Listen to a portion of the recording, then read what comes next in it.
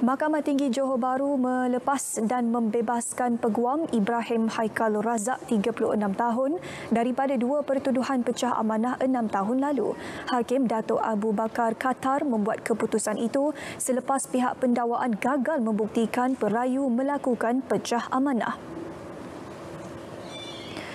Hakim turut membenarkan rayuan perayu mengenepikan sabitan dan kedua-dua pertuduhan pindaan sekaligus mengenepikan hukuman penjara tiga tahun bagi setiap pertuduhan serta dua sebatan yang dijatuhkan Mahkamah Session.